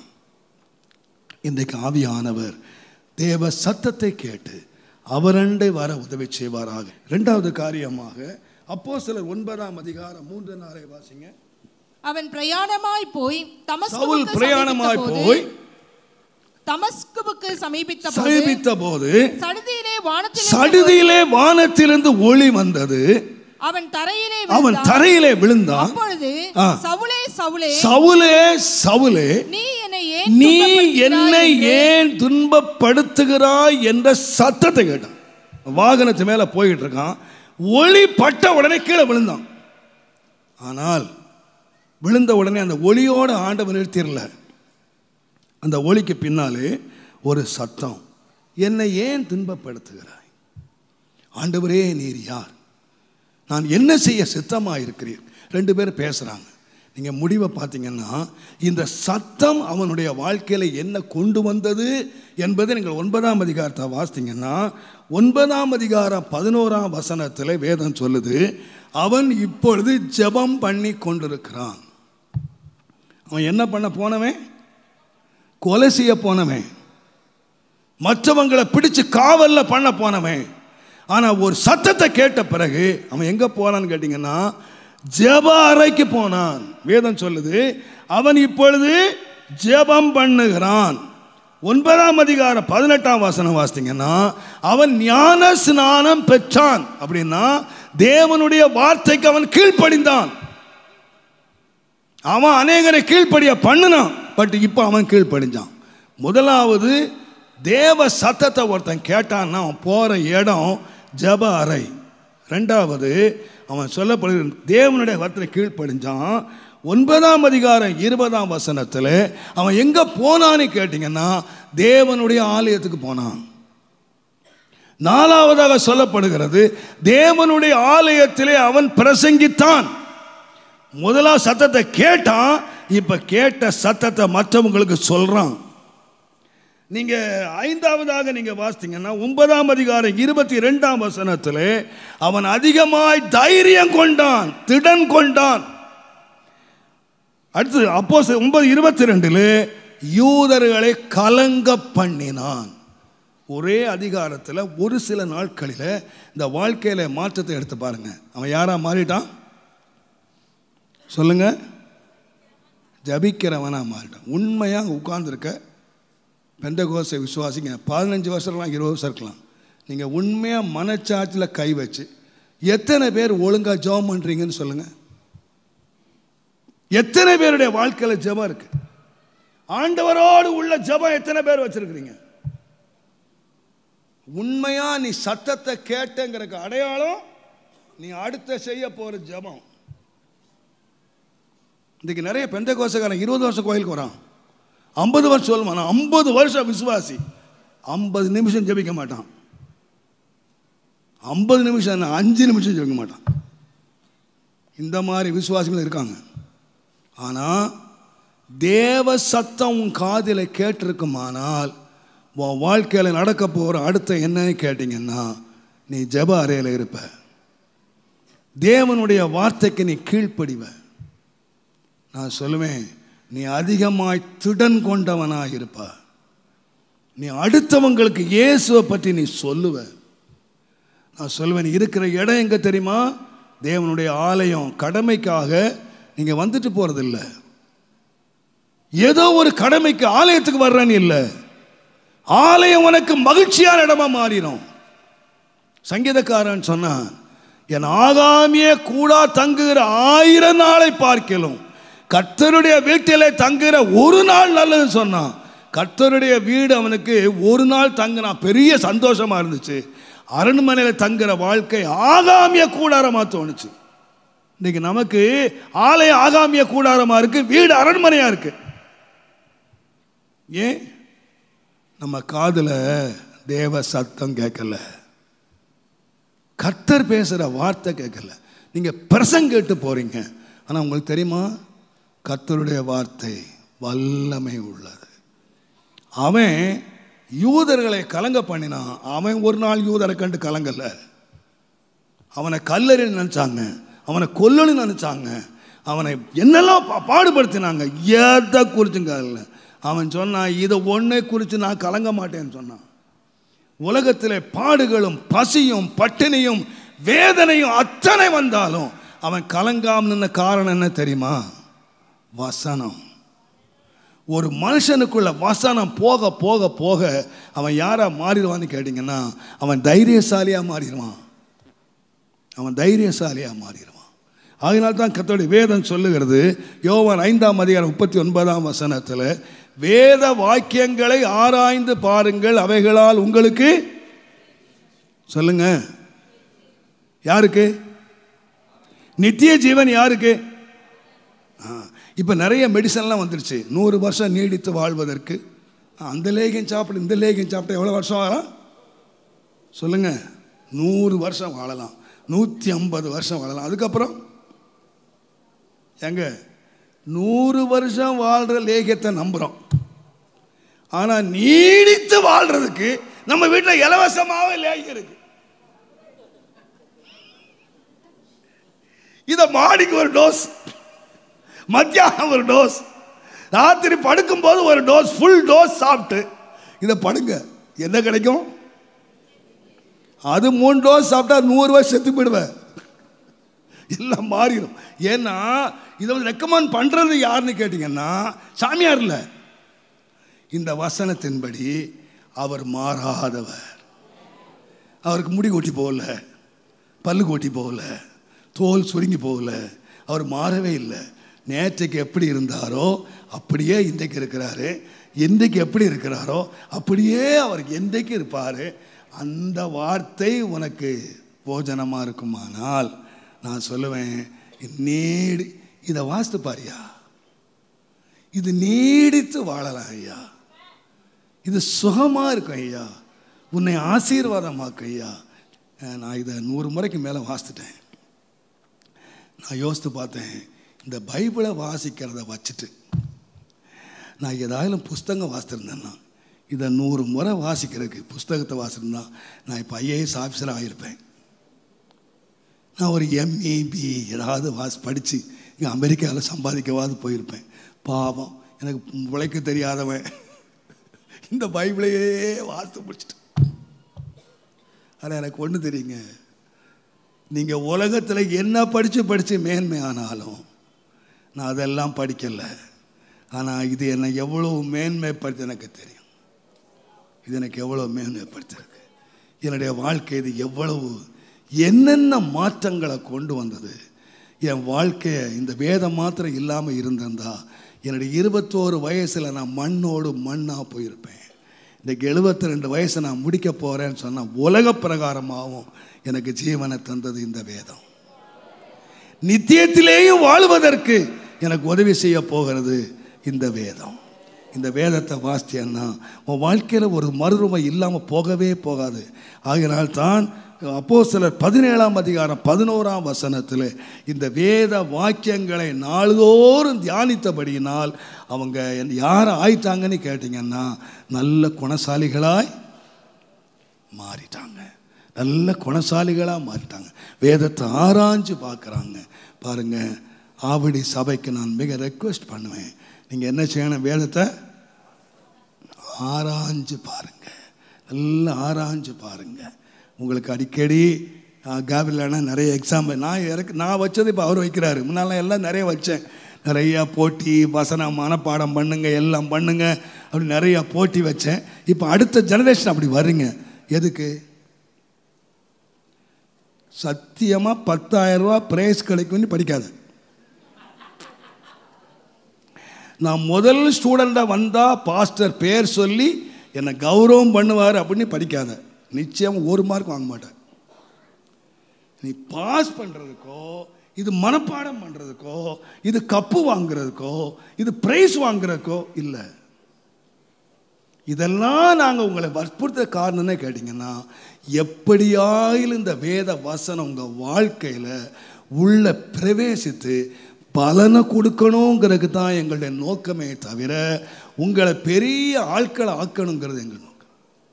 இந்த வேத வசனம் எனக்கு என்ன செய்யும் அப்படிங்கிறத என் வாழ்க்கையில் நான் அறிஞ்சவன். நான் தெரிஞ்சவன். அருமை இவ்வளவு காசை செலவழித்து இவ்வளவு நேரத்தை செலவழித்து நீ வாஸ்தா என்ன நீ படித்தா என்ன நீ பாழா போன என்ன என்று விட முடியும். ஆனால் உங்கள் வாழ்க்கையில் எத்தனை காரியங்களை கற்றாலும் இந்த வேதம்தான் உங்கள் சுபாவத்தை மாற்றும். இந்த வேதம்தான் உங்களை நீடித்த வாழ்வுக்குள்ள நடத்தும். இந்த வேதம்தான் உங்களை மகிமையில கொண்டு போய் சேர்க்கும். இதற்காக எடுக்கிற முயற்சிக்கு பெற்றோரும் ஒத்துழைங்க நீங்களும் ஒத்துழைங்க. இந்த வேத மாசத்தை என்ன நடக்கும்? நான் ஏற்கனவே சொல்லியிருக்கேன். ஒரு முறை ஒரு தாத்தா எப்போ பார்த்தாலும் பைபிள் வாசிட்டே இருப்பார் காலையில் பார்த்தா பைபிள் மத்தியானம் பார்த்தா பைபிள் நைட்டு பார்த்தா பைபிள் பல வருஷங்களை வாசிட்டே இருக்கார். ஒரு பையன் வந்து ஒரு நாள் கேட்டான் தாத்தா என்னென்ன புஸ்தகம் நம்ம உலகத்தில் இருக்கு? நீ இதையே போய் வாசிக்கிட்டே இருக்கிறிய. இதில் என்ன கிடைக்க போகுது உனக்கு? உனக்கு என்ன கிடைக்கும்? இதையே வாசித்துக்கிட்டு இருக்கு உனக்கு இதில் ஞாபகம் இருக்கா? இந்த புஸ்தகம்லாம் நீ இத்தனை வாட்டி வாசித்தியான்னா உனக்கு மனப்பாடம் ஆயிருக்குமே அவர் தம்பி நீ கேட்குற கேள்விக்கு எனக்கு என்ன பதில் சொல்ல தெரியல. நான் ஒரே ஒரு வேலை மட்டும் சொல்கிறேன் இதை செய்த பிறகு நான் உனக்கு பதில் சொல்கிறேன்னாராம் என்ன வேலைன்னாராம்? இங்கே வான்னு சொல்லி கூப்பிட்டு வந்துட்டு அந்த வீட்டு விராண்டாவில் ஒரு அவர் அடுப்பு கறி கொட்டி வச்ச ஒரு கூடை இருந்துச்சான் ஒரு சின்ன கூடை. அந்த கூடையை கறியை கீழே கொட்டிட்டு அவன் கையில் கொடுத்து தம்பி எனக்கு தண்ணி வேணும். வேறு பாத்திரம் இல்லை. இந்த கூடையில் போய் தண்ணி பிடிச்சிட்டு வந்துடுறேன். இது கறி. கண்ணம் கரேன்னு இருக்குது இந்த கிழவனுக்கு இதில் தண்ணி அப்படி பிடிக்க முடியும்? சரி தாத்தா சொல்லிட்டாரு. நேராக போய் குழாயில் தண்ணி பிடிச்சா தண்ணி நிற்குமா நிற்காதா அவன் ட்ரை ஒருக்கா பண்ணான் ரெண்டு வாட்டி பண்ணான் மூணு வாட்டி பண்ணான் அவன் பிடிச்சிக்கிட்டே இருக்கான். தண்ணி போய்கிட்டே இருக்கு. கையை வச்சு பார்க்குறான் அடியில் வச்சு பார்க்குறான் இதெல்லாம் போய்ட்டு தண்ணி நிற்க மாட்டானது. இவன் பார்த்தான் என்னடா இந்த கிழவங்கிட்ட போய் இந்த கேள்வி கேட்டு நான் மாட்டிக்கிட்டேன். இந்த கிழவன் ஏன் தரல இந்த மாதிரி கட்டிட்டானே. சரி ஐ ட்ரை கடைசியாக ஒரு ட்ரை பண்ணுறேன் இந்த ட்ரை பண்ணி நிற்கலைன்னா நான் அந்த கூடை தூக்கி போட்டு தாத்தா ரெண்டு கேள்வி கேட்டு போயிடுவேன் அப்படின்னு கடைசி என்னெல்லாமோ கையை வச்சு பிடிச்சா நிற்கலை தண்ணி பூரா கூட்டிடுச்சு. நேராக வந்து தாத்தா நீ செய்ய முடியாத வேலையை என்கிட்ட கொடுத்துட்டியே. இது தண்ணியே நிற்கலையே அப்படின்னு. அப்படியாப்பா தண்ணி நிற்கவே இல்லையா? ஆனால் உனக்கு ஒரு ரகசியம் தெரியுமாப்பா? உன் கையில் நான் கூட கொடுக்கும்போது எப்படி இருந்துச்சு? கருப்பாக இருந்துச்சுல்ல ஆனால் நீ பல முறை ட்ரை பண்ணப்பா. இந்த தண்ணியால் நிரப்பிடணும்னு ட்ரை பண்ணேன் பட் தண்ணி நிரப்பவே முடியலை. ஆனால் என்ன ஆச்சு தெரியுமா? நான் உங்ககிட்ட கருப்பாக கொடுத்தேன். இப்போ இந்த கூடை எப்படி ஆயிடுச்சு? வெள்ளை ஆயிடுச்சுப்பா. எப்படிப்பா ஆச்சு? அவன் அப்பந்தான் யோசித்தான். இந்த வேதம் மனப்பாடம் பண்ணுறதுக்கு இல்லை பரிசுத்தம் அடைகிறதுக்கு இன்றைக்கி சிலர் சொல்கிறாங்க பாஸ்டர் எத்தனை முறை வாசித்தாலும் மண்டையிலே நிற்க மாட்டேங்குது. ஆனால் வேற என்னெல்லாமும் நிற்கிது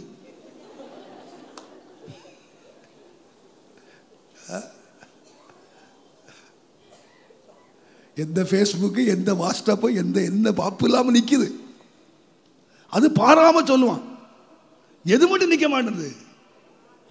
இது நிற்காது இதுக்கு நிறைய பேர் ஏன் வாசிக்கலைன்னா வாசி வாசித்து பார்த்தேன் மாஸ்டர்.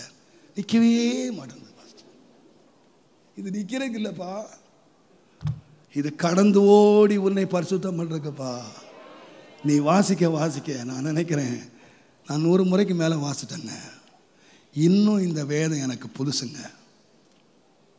இன்னும் இந்த வேதத்தை வாசிக்க நான் கண்ணீர் விடுறேன். இந்த தப்பை நாம் செய்கிறோம் இந்த குற்றத்தை நாம் செய்கிறோம் ஆண்டவரே இன்றைக்கும் என் குற்றத்தை உணர்த்தி பரிசுத்தமாக்குற ஒரு புஸ்தகம் உண்டானா? இந்த புஸ்தகம். பிரதர் இந்த சத்தத்தை கேளுங்க. இந்த சத்தத்தை கேட்டிங்கன்னா நான் சொல்லுவேன் கர்த்தர் உங்கள் வாழ்க்கையை மாற்றி பவுலை போல பிரிக்க முடியாத உறவுக்குள்ளே கொண்டு வருவார். கடைசியாக ஏசாய ஆறாம் அதிகாரம் எட்டாம் வசம் பின்பு யாரை நான் அனுப்புவேன்? யார் நமது காரியமாய் போவான் என்று உரைக்கிற ஆண்டவருடைய சத்தத்தை கேட்டு. ஒரு சத்தம் கேட்குறான் யாரை நான் அனுப்புவேன்? என் காரியமாக யார் போவார்கள்? இங்க பாருங்க ஏசாயா ஒரு பரம தரிசனத்தை கண்டான். மேலே உன்னதமான சிங்கா தேவன் உட்கார்ந்திருக்கிறார். கேருபீன்களும் சேராபீன்களும் பரிசுத்தர் பரிசுத்தர் என்று ஆராதித்துக் கொண்டிருக்கிறார்கள். தேவனை மைமைப்படுத்துகிறார்கள் ஆராதனை சத்தம் தொனிக்கிறது பூமி மைமையினால் நிறைகிறது. இந்த மைமையை கண்டபோது அக்கினி பரத்திலிருந்து வந்து நாவை தொட்டு சுத்தமாக்கினார். இதெல்லாம் நடந்தால் நான் நினைக்கிறேன் அவன் தரிசனத்தை பார்த்தான் ஆராதனை சத்தத்தை கேட்டான் தேவ தூதர்களை பார்த்தான் தேவனுடைய மகிமையை பார்த்தான் எல்லாம் பார்த்தான். பட் நோ சேஞ்ச் ஆனால் ஒரு சத்தம் கேட்டான். இன்றைக்கி நான் நினைக்கிறேன் இன்றைக்கி தரிசனத்தின் காலம் இன்றைக்கி நிறைய பேர் நிறைய தரிசனம் பார்க்குறாங்க. அப்படியே இன்றைக்கி காலையில் ஆவடியில் இருக்காங்க மத்தியானம் பரலோகத்தில் போய் எலியாவோட பிரேக்ஃபாஸ்ட் பிரேக்ஃபாஸ்ட்டுக்கு போகிறாங்க மத்தியானம் லஞ்சு இயேசுவோட சாப்பிட்றாங்க அப்புறம் திரும்ப டின்னருக்கு வந்துட்டா நேராக வந்து மோசக்கிட்ட வந்துடுறாங்க. ஐயோ இன்றைக்கு பரம தரிசனம்லாம் பயங்கரமாக இருக்குது அப்படியே பரலோகத்தில் போய் போயிடுறாங்க அப்படியே நரகத்துக்குள்ளே போய் பார்த்துட்டு வந்துடுறாங்க. ஐயோ அப்பா இன்றைக்கி தரிசனத்தில் பார்த்தா நமக்கு தலை சுற்றுது நானே செலவழை யோசிக்க ஆண்டவரே இந்த மாதிரி தரிசனத்தெல்லாம் பார்க்குறாங்களே ஆண்டவரே எனக்கு ஒன்றையுமே காட்ட மாட்டேன் இன்னைக்கு தரிசனத்தில் என்னென்ன பார்க்குறான் ஐயா? செங்கல்ல பத்தாயிரத்து விற்க தரிசனம் கிடைக்குது. துணியை விற்கிறதுக்கு தரிசனம் கிடைக்கும் எல்லா எனக்கு ஒரு தரிசனம் கிடைக்க மாட்டாது எனக்கு இந்த வசனம் தவிர வேற ஒன்றும் கிடைக்க மாட்டேங்குது. ராத்திரி பகலும் முட்டி முட்டி போது நான் வசனம் தான் தராரு ஆண்டவர். ஒரு தரிசனம் கொடுக்க மாட்டேன்றாரு நாம் தரிசித்து நடவாமல் விசுவாசித்து நடக்கிறோம். இன்னைக்கு நிறைய நீங்கள் நினச்சிடாதீங்க. அப்பா அவர் பரலோத்து சீசன் டிக்கெட் வச்சுருக்காரு. காலையில் அங்கே இருக்கார் சாயங்காலம் அங்கே போகிறார் அவர் பெரிய ஆளுங்க. ஏசுநாதரோடவே சாப்பிட்றாரு. ஏசுநாதரோட ஆப்பிள் சாப்பிட்றாரு. ஏசுநாதரோட காஃபி சாப்பிட்றாரு. இன்றைக்கி தரிசனம் எதுக்குன்னா அவங்கள பெரிய ஆளாக்குறேன் ஏசா என்ன தரிசனம் பார்த்தான்னா தேவனையே பார்த்தான் சிங்காசனத்தை பார்த்தான் தேவ தூதர்களை பார்த்தான் எல்லாத்தையும் பார்த்தான். தேவ அக்கினி அவன் தொடர்றதையும் பார்த்தான். ஆனால் அதோடு முடிஞ்சிடல கதை. அதுக்கு பிறகுதான் ஆண்டு ஆரம்பித்தார் என் காரியமாக யாரை? சாரி இப்போ எதுக்கு வந்தீங்க கோயிலுக்கு? இன்றைக்கு எதுக்கு நீ கோயிலுக்கு வந்தீங்க? உங்கள் காரியமாவா கத்திர காரியமாவா? யார் அப்படியா? அது எப்படி கத்திர காரியமா வந்திருப்பீங்க? உங்க காரியத்துக்கு வந்தீங்க. இன்றைக்கு ஆண்டு ஆசீர்வதிக்க மாட்டாரா? இன்றைக்கு அபிஷேகிக்க மாட்டாரா? இன்னைக்கு தொட மாட்டாரா? இன்னைக்கு கண்ணீரை துடைக்க மாட்டாரா? இன்னைக்கு கடன் பிரச்சனை தீராதா? என் பாரம் தீராதா? அப்படி சொல்லத்தானே ஆராதிக்கவே செய்றீங்க. ஆராதனையே அப்படி வந்துச்சு. கர்த்தர் இங்க இருக்கிறார். உங்கள் கண்ணீரை துடைக்கிறார். ஆ? உங்களுக்கு இப்போ கார் தருவார். அப்படிலாம் இன்னும் சவுண்டில் ஆராதிப்பீங்க உங்களுக்கு வீடு தருவார். உங்கள் ஆசீர்வாதமாக சொல்ல சொல்ல உங்கள் உங்கள் ஆராதனை சவுண்டு சர்ச்சுக்கு எதுக்கே வரோம்? நம்ம காரியமாக நம்ம ஆசீர்வாதத்துக்காக நம்ம சுகத்துக்காக நம்ம பலனுக்காக நம்ம பரலோகம் போகிறதுக்காக யாருமே கர்த்தருடைய காரியத்துக்கு வரல. ஆனால் தரிசனத்தை கண்ட ஒரு மனுஷங்கிட்ட ஆண்டவர் கேட்டார் என் காரியமாக யாருப்பா போவா? அடுத்த வாரம் கோயிலுக்கு வர மாட்டீங்க. ஆண்டவருக்கு என்ன வேணும்னு தெரியுமா? நாம் நினச்சிக்கிட்டே இருக்கோம் என் காரியம் என் காரியம் நடக்கணும் என் காரியம் நடக்கும் என் பிள்ளை பாஸ் பண்ணிட்டான்னா ஆயிரம் ரூபா காணிக்க. ஃபெயில் ஆகிட்டாலும் என்ன நடக்கும் தெரியாது. இன்றைக்கி சிலர் எழுதுகிறாங்க பொருத்தனை பண்ணி ஜபியுங்கள். உங்களுக்கு காரியம் நடக்கும். பத்தாயிரம் ரூபாய் பொருத்தனை பண்ணுங்கள். ஒரு அடி நிலத்துக்காக பொருத்தனை பண்ணுங்கள். ஆலயத்துக்காய் பொருத்தனை பண்ணி ஜெபம் பண்ணுங்கள். எதுக்கு? உன் காரியம் நடக்கிறதுக்கு. உன் காரியம் நடக்கிறதுக்கு ஆண்டர் லஞ்சம் கொடுக்குறீங்க. பத்து லட்சம் ரூபா வேலை நடக்கிறதுக்கு ஆண்டருக்கு பத்தாயிரம் ரூபா லஞ்சம். எல்லாமே எதனுடைய அடிப்படையில்னா நம்முடைய சுயத்தினுடைய அடிப்படையில். ஆனால் தேவ சத்தம் என்ன கேட்கும்னு கேட்டிங்கன்னா என் காரியமா யார் போவார்? என் காரியமா யார் போவார்? எத்தனை பேர் சொல்லுவீங்க? நான் போகிறேன் ஆண்டவரே என்னை அனுப்பும். நீங்கள் மூச்சு விட மாட்டீங்கன்னு தெரியும். தேவ சத்தம் கேட்குற இடம் என்னை அனுப்ப நான் போகிறேன் உண்மை காரியமாக நான் போகிறேன் அப்போ ஆகிய பவுல் வாலிபனாய் இருந்தபோது தன் காரியமாக ஆசாரியர் காரியமாக அழிப்பதற்கும் கொலை செய்வதற்கும் சிறையில் அடைப்பதற்கும் ஆனால் ஆண்டவர் பிடித்தார் அவன் ஆலயத்தில் உட்கார வச்சார். அப்போ சிலர் பதிமூன்றாம் அதிகாரம் சொல்லுகிறது அவர்கள் தேவனுடைய ஆலயத்தில் ஆராதித்துக் கொண்டிருக்கும் போது தேவனுடைய ஆலயத்திலே உபவாசித்து கொண்டிருக்கும் பொழுது பர்சுத்தாவியானவர் சொன்னார் அவர்களை நான் அழைத்த ஊழியத்துக்கு பவுலையும் பரணபாவையும் பிரித்து விடுங்கள் என்று பரிசுத்த ஆவியானவர் சொன்னார். உடனே கீழ்ப்படிந்து தேவனுடைய வார்த்தையின்படி மூன்றாம் வசனம் சொல்லுகிறது அவர்கள் மேல் கைகளை வைத்து ஜெபம் பண்ணி அவர்களை அனுப்பினார்கள். அடுத்த வசனம் சொல்லுகிறது. அப்படியே அவர்கள் பரிசுத்த ஆவியினால் அனுப்பப்பட்டு பட்டணங்கள் ஒரு சுவிசேஷத்தை சீப்புரு தீவிலே அங்கிருந்து அவர்கள் பிரசங்கம் பண்ணினார்கள். இப்பொழுது வாழ்க்கையினுடைய கடைசி வந்தது. வேதன் சொல்லுகிறது பவுலை பற்றி சொல்லுகிறது. உனக்கு கட்டுகளும் காவல்கள். எங்க போன என்னதான் இருக்கும்? உனக்கு வீடு வைக்கல உனக்கு பைக் வைக்கல கார் வைக்கல. உனக்கு கட்டுகளும் காவலும் தான் வச்சிருக்கு. பவுல் சொன்னார் இருபதாம் அதிகாரம் இருபத்தி நாலாம் வசனத்தில் இது ஒன்றை குறித்து நான் கவலைப்பட மாட்டேன். என் பிராணனை நான் அருமையாய் எண்ண மாட்டேன்.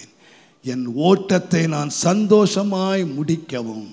என் தேவனுடைய கிருபையின் சுவிசேஷத்தை நான் பிரசவிக்கவும். நான் ரொம்ப விரும்புகிற வார்த்தை நான் கர்த்தராய இயேசுவிடத்திலே பெற்ற ஊழியம். என் ஆண்டவருக்காக நான் செய்யும்படியாய் திருச்சித்தம் கொண்ட இந்த ஊழியம். நான் கர்த்தரிடத்திலே வாங்கின ஊழியத்தை நான் நிறைவேற்ற விரும்புகிறேன். இதனால் எனக்கு சாவே வந்தாலும் சரி கட்டு வந்தாலும் சரி காவல் வந்தாலும் சரி அடி வந்தாலும் சரி எனக்காக ஒரு நன்மை எனக்கு கிடைக்கல. நான் விரும்புகிற காரியம் ஒன்றுமே நடக்கலை. நான் விரும்புகிற காரியம் ஒன்றுமே எனக்கு செய்ய முடியல. பசியும் பட்டினியும் ஒரு காலத்தில் நான் செல்வ செழிப்பில் எங்கேயோ இருந்தேன். மரியாதைக்குரியவனாய் கனத்துக்குரியவனாய் பெயர் பெற்றவனாய் நான் பெரிய ஒரு நிலையிலே நான் இருந்தேன். ஆனால் ஆண்டவருக்காக நான் வந்தபோது அது ஒன்றுமே இல்லாமல் பசியும் பட்டினியும் நிர்வாணமும். பவுலே நீ உனக்காக இத்தனை வருஷம் நீ ஆண்டவருக்கு ஊழியம் செய்து உனக்காக நீ என்ன சம்பாதிச்ச? உனக்காக என்ன கிடைச்சது? உனக்கு நீ என்ன வச்சிருக்க? அப்படின்னு கேட்டால் சொல்லுவார் எனக்கு நீ ஒன்றுமே இல்லை. நான் யாருக்காக வந்தேன்னா கர்த்தருக்காக கர்த்தருக்காக.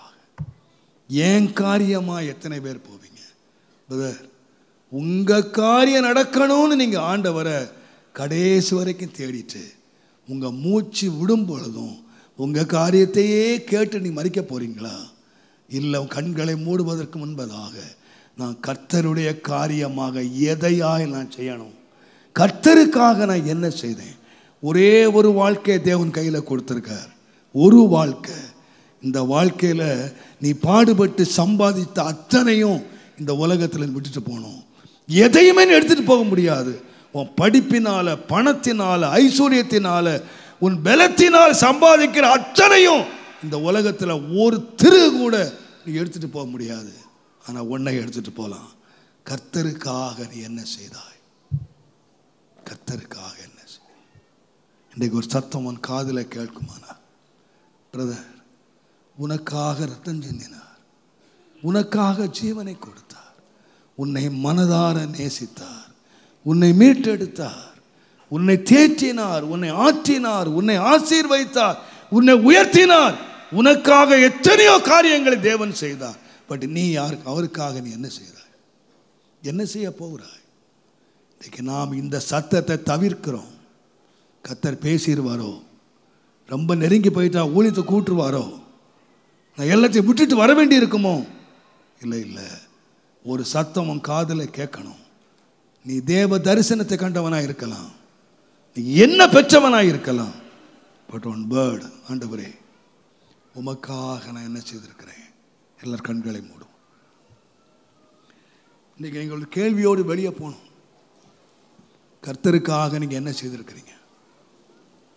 இன்னைக்கு ஒரு லிஸ்ட்டு உன் கையில் கொடுத்தா கர்த்தர் உனக்காக என்னென்ன செய்தார் என்பதை நீ பக்கம் பக்கமாக எழுதுவ. கர்த்தர் செய்த நன்மைகள் எண்ணில் அடங்காதவைகள். அவைகள் கணக்கில் அடங்காதவைகள். பட் கத்தருக்காக என்ன செய்த? என் காரியமாக யார் போவார்கள்? என் காரியமாக ஒன்றுமே செய்யலை நீ அழுதுகிட்டு இருக்கிற. நீ முறுமுறுக்கிற. கர்த்தர் என் காரியமாக எனக்கு ஒன்றுமே செய்யல. ஆனால் ஆண்டவர் உன்னை அழைக்கிறார். மகனே என் காரியமா ஏதாவது செய்தியாப்பா? ஜான் எஃப் கன்னடி அமெரிக்க ஜனாதிபதியாய் தேர்ந்தெடுத்த போது தம்முடைய மக்களுக்கு ஒரு அழகான சொற்பொழிவை நேற்றினாராம் நான் அமெரிக்க ஜனாதிபதியாக நான் தேர்ந்தெடுக்கப்பட்டால் நான் உங்களுக்கு நிறைய காரியங்களை செய்வேன் என்று வாக்குறுதி அளித்திருக்கிறேன். என்னது ஏராளமான எதிர்பார்ப்போடு என்னை ஜனாதிபதியாய் தேர்ந்தெடுத்திருக்கிறீர்கள். இந்த தேசம் உங்களுக்கு ஏராளமானதை செய்ய வேண்டும் என்ற எதிர்பார்ப்போடு எனக்கு ஓட்டளித்திருக்கிறீர்கள். அந்த நிலையிலே தான் நான் ஜனாதிபதியாய் தேர்ந்தெடுக்கப்பட்டிருக்கிறேன். ஆனால் ஜனாதிபதியாகிய நான் உங்களை பார்த்து ஒரு கேள்வி கேட்கிறேன். தேசம் உனக்கு என்ன செய்யும் என்று கேட்கிறதை விட்டுவிட்டு நீ தேசத்துக்காய் என்ன செய்தாய் செய்ய போகிறாய் என்பதை சிந்தித்து விடுவாயானால் நம்முடைய தேசம் செழிப்படைந்து விடும் கர்த்தர் எனக்கு என்ன செய்தார் என்பதை காட்டிலும் கர்த்தருக்காக நான் என்ன செய்தேன்? கர்த்தருடைய காரியமாக நான் என்ன செய்தேன்? எவ்வளவு நேரத்தை கர்த்தருடைய காரியமாய் நான் செலவு பண்ணினேன்? வாலிபனே கன்னிகையே பெரியோரே சிறியோரே உங்களை பார்த்து ஒரு கேள்வி கேளுங்கள். இன்னைக்கு ஒரு சத்தம் துணி கேட்டோம். என்னுடைய காரியமாக யார் போவார்கள்? யாரை நான் அனுப்புவேன்? நீ சொல்ல முடியுமா? என்னை அனுப்பும் கர்த்தாவே. என்னை அனுப்பும். என்னை அனுப்பும். அன்றைக்கு பே பவுலை அனுப்பினது போல. அன்றைக்கு அப்போஸ் அனுப்ப அனுப்பினது போல. என்னை அனுப்பும். எங்கே இருந்தால் நான் போவேன். ஓநாய்களுக்குள்ளே நான் போவேன். சர்ப்பங்களுக்குள்ளே நான் போவேன். என் ஜீவனை இழக்க வேண்டியதால போவேன். உமக்காக வாழுகிற வாழ்க்கையை நான் செய்வேன். எனக்காக நீ ஜீவனை கொடுத்தீர். உமக்காக என்னுடைய ஜீவனை கொடுக்க வேண்டுமானாலும் நான் கொடுத்து உமக்கு ஊழியம் செய்வேன். ஊழியம் செய்வேன். உம்முடைய காரியமாக நான் உழைப்பேன். உம்முடைய காரியமாக நான் பிரயாசப்படுவேன். என் பணத்தினாலும் பொருளினாலும் சரீரத்தினாலும் உமக்காக நான் வாழுவேன் ஆண்டவரே. எல்லாரும் முழங்கால் படிக்கிட்டு இன்றைக்கு என்னோடு ஆண்டவர் பேசணும். என்னோடு பேசணும். என்னோடு ஆண்டவர் பேசணும். ஓ ராமா சந்தலபரா தலக்கமாவுரி ஓ கமபதலபரா தல ஆண்டவரே இத்தனை வருஷம் எனக்காகவே நான் உண்மை தேடிட்டேன். என் நன்மைக்காகவே நான் தேடிட்டேன். என்னுடைய ஆசை இச்சைகளை நிறைவேற்றவே நான் தேடிட்டேன். என்னுடைய ஆசீர்வாதத்துக்காகவே தேடிட்டேன். என் தொழில் விருத்தி அடையணும். என் வீடு விருத்தி அடையணும். என் குடும்பம் விருத்தி அடையணும். என் நன்மைக்காகவே உண்மை தேடிச்சேன். ஆனா இன்றைக்கு என் செவியை நான் திறந்து சொல்றேன். உமது காரியமாக நான் செயல்பட விரும்புகிறேன். லார்ட் என்னை முற்றிலுமாய் அர்ப்பணிக்கிறேன். பேசோ பேசோ ஜபம் செய்யும்